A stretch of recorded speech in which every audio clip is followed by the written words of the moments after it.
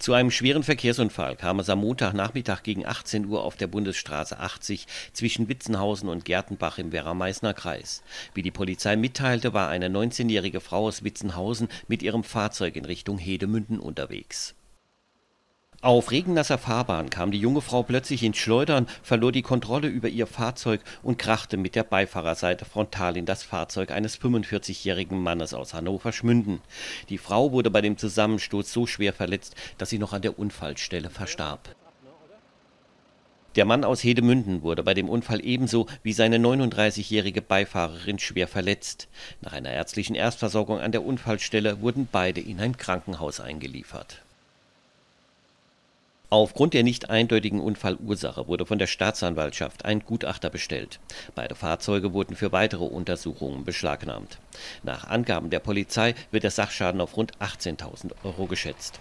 Zum Einsatz kamen die Feuerwehr Witzenhausen und Gertenbach sowie das Team des Rettungshubschraubers Christoph 44.